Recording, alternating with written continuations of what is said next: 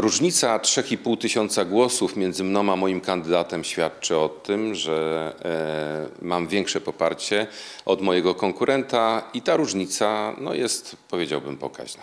To była bardzo intensywna kampania. Zarówno pierwsza, jak i druga tura cechowała się dużą intensywnością, e, dużą intensywnością spotkań, sposobem prowadzenia kampanii e, troszeczkę innym e, niż dotychczas, a poza tym występowanie w roli tego, który broni swojego stanowiska, czyli prezydenta, który aspiruje do tego, by być na kolejną kadencję prezydentem miasta Konina, no jest troszeczkę trudniejsza niż występowanie w roli takiego, który w ogóle pretenduje do tego stanowiska. 6 e, maja będzie sesja e, inauguracyjna, nową, inaugurująca nową kadencję, ale i również e, ślubowanie wtedy złożę.